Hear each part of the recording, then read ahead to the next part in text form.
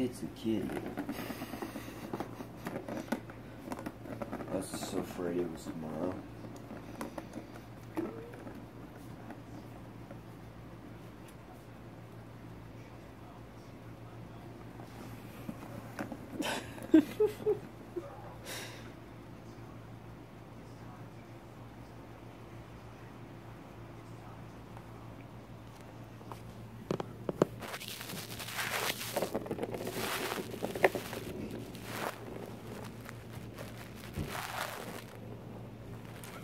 See if she gets it.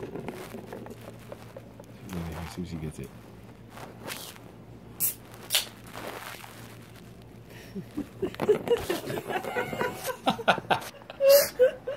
she ran right into that, almost knocked it off.